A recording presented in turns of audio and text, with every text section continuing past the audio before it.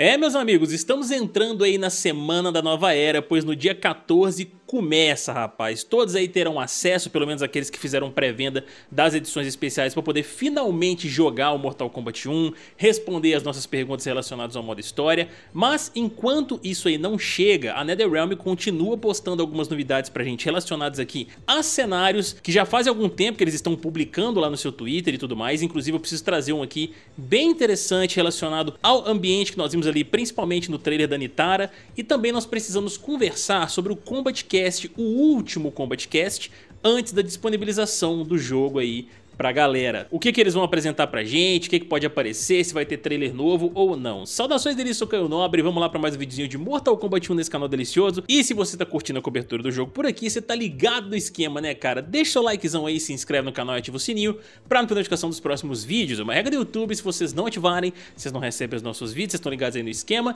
E nós teremos muito conteúdo de Mortal Kombat 1 assim que nós colocarmos as mãos no jogo e pudermos trazer pra vocês aí vídeos e muito mais, cara. Vai ser bem legal, eu tô bem ansioso pra isso. E não se esqueçam que a Brasil Game Show 2023 tá chegando também no mês de outubro aí agora, rapaz. E nós estaremos lá como parceiros do evento, todos os dias poder cobrir lá os joguinhos, os convidados internacionais que estarão presentes lá também e principalmente ver cada um de vocês poder dar um abraço, trocar uma ideia, vai ser muito, muito legal. Já garanta o seu ingresso com desconto no link do Meia Lua que tá aqui embaixo no comentário fixado, antes da virada do lote, beleza minha gente? Então vamos lá galera, começar primeiramente aqui, antes de a gente entrar nos pormenores ali do Combat Cash que vai rolar no próximo dia 13, um dia antes deles disponibilizarem MK aí pra galera da pré-venda e tudo, precisamos dar uma olhadinha aqui pessoal, nesses cenários né, eu tô trazendo esse daqui que eles já postaram há alguns dias, e depois eu vou trazer o mais recente, que é o The Flash Pits, pra gente poder dar uma olhadinha. E o que eu acho bem interessante nisso daqui, quando eles publicam o cenário específico, é que eles trazem uma breve descrição dele, deste ambiente pra nós,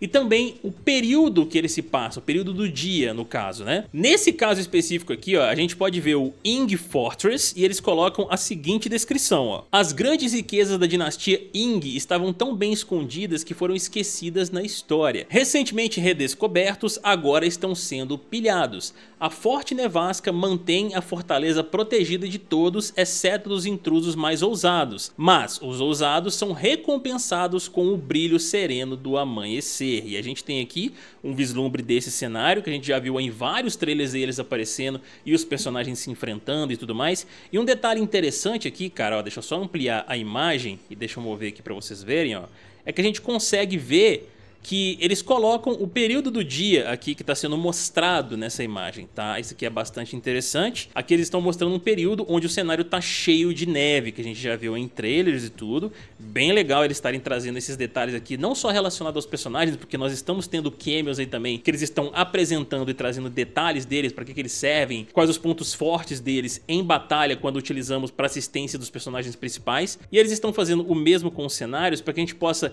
entender melhor como ele vai funcionar dentro do game ali e um pouquinho da sua história também, como o caso do Ing Fortress aqui, nesse período de nevasca, né?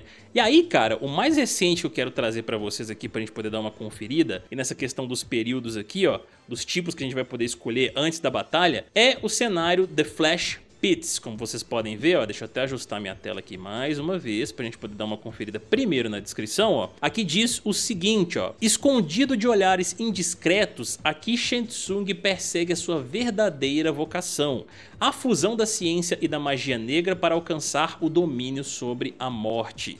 Os experimentos abaixo nunca foram feitos para serem vistos pelos fracos de coração. Ativos ou não, eles são realmente uma abominação de se ver. E aí a gente tem essas imagens aqui ó, do The Flash Pits, como a gente pode ver, ó, deixa eu até dar uma ampliada aqui. Ó, a gente pode ver, cara, realmente essas coisas bizarras aqui, ó, que a gente conseguiu ver lá no gameplay da Nitara, principalmente, né? Esses bichos aqui, uma fusão de realmente monstro com humano. Vai saber que tipo de experimento é esse que o Shensung tá fazendo. É bem fácil de imaginar que um Meat da vida saia daqui, do, da forma como a gente tá vendo essas coisas, esses trecos bizarros aqui, gente mutilada e tudo mais, sabe? E aí, um outro ponto interessante, ó, se vocês repararem, no The Flash Pits, que nós estamos vendo o estado desse cenário com os experimentos inativos. Ou seja, quando a gente for escolher lá antes de começar uma luta, nós teremos a opção também ó, de colocar os experimentos como ativos para que eles possam reagir, para que o cenário, no caso do The Flash Pits ali, dessas coisas bizarras, tenham mais vida, por assim dizer, né, cara? Então assim,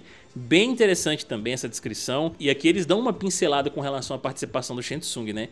Esse é o laboratório onde ele vai fazer experimentos e eu quero ver isso daqui dentro do modo história, como é que eles vão abordar, né? Essa participação do Shensung nesse sentido aqui e que tipo de experimento ele vai fazer ali para poder dar problema para os mocinhos nessa história. Aí, meus amigos, nós temos que conversar também aqui bem rapidamente sobre o próximo Combat Cast, né, no caso, o último Combat Cast que vai acontecer antes do Mortal Kombat ser liberado para todo mundo, no dia 13 de setembro, às 14 horas, né, horário de sempre que eles têm feito aí os últimos Combat Casts, só que aqui, ó, se vocês repararem bem na descrição, eles não dão detalhes de nada pra gente, o que, que eles vão apresentar, quais os personagens eles vão destrinchar ali, o gameplay e tudo mais. E aí, cara, isso é uma coisa que eu fiquei pensando aqui. Para eles não terem falado absolutamente nada, será que eles vão guardar segredo até o programa começar lá e aí eles falam, mostram e tudo? Ou será que eles vão apresentar esse negócio durante a semana pra gente? Eu imagino, cara, que como eles não mostraram Reiko ainda, embora nós já saibamos que ele está no roster ali, por conta principalmente daquele trecho lá da San Diego Comic Con que a gente vê que ele vai lutar com a Lime e tudo, eu acho que seria a oportunidade perfeita para eles mostrarem o personagem pra nós. Um trailer inicialmente ali, de repente um trailer de lançamento do jogo mostrando um pouco mais do Reiko também, e aí eles aproveitam o embalo e já mostram um gameplay detalhado do personagem, e eu acho que seria uma boa também eles pegarem um personagem como a própria Nitara, que acabou de ser mostrada, para eles destrincharem o gameplay dela para nós, entendermos ali como é que a personagem vai funcionar, aquela questão dos buffs ali que ela parece fazer, né, com aquele círculo de sangue que ela coloca no chão, e Principalmente, cara, eu quero muito ver se eles vão apresentar pra gente o Shensung, porque a gente só sabe que ele é um personagem pré-venda e a gente até agora não viu absolutamente nada dele em termos de gameplay de maneira oficial, entendeu? Então eu acho que seria realmente uma boa oportunidade